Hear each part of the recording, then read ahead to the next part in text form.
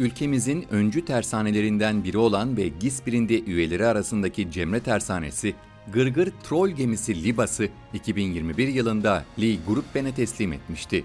LNG yakıtlı ve batarya sevk sistemine sahip dünyanın ilk Gırgır Troll gemisi olarak kendi türünün ilk örneği olan gemi, dünya denizciliğinde de büyük takdir toplamış ve 2018 yılında Norfishing İnovasyon Ödülünü kazanmıştı.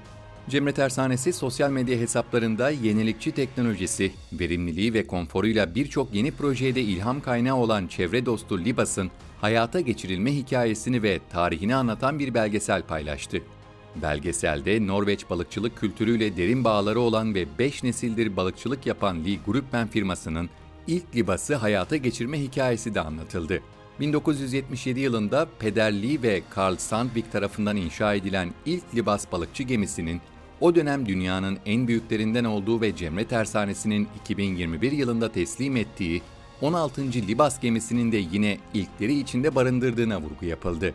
Cemre Tersanesi Yönetim Kurulu Başkanı Orhan Gülcek, kendi alanında bir öncü olan Libas'ı hayata geçirmenin heyecanını yaşadıklarını ifade etti. İlk Norveç'te başladık. Kimsenin cesaret edemediği projelerle başladık. Geçtiğimiz sürede her yıl 4-5 tane gemi yapıp Norveç'e teslim ettik. Bu projeyi çok büyük heyecanla imzaladık çünkü ilk elencili balıkçı gemisi olacaktı dünyada. Şu an geldiğimiz duruma baktığımız zaman Türkiye'nin gemi ihracatının önemli bir çoğunluğunu Norveç'e ve kuzey ülkelerine yapmaya başladık. Biz de buna katkıda bulunduğumuz için gurur duyuyoruz.